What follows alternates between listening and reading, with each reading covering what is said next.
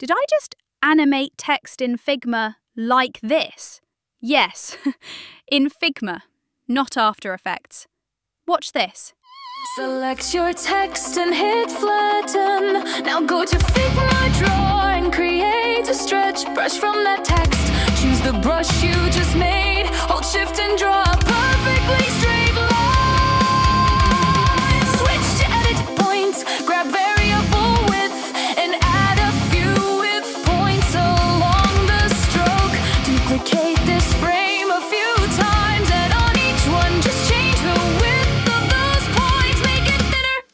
whatever looks fun. Now select all your frames, open the shape move plugin, and boom, it animates all transitions automatically. Export as SVG animation, embed it on any website, Webflow Framer, Tilda, or whatever. Tiny file size loads instantly and stays vector sharp.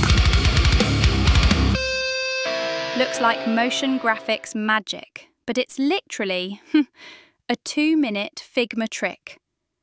Follow for more sneaky Figma hacks.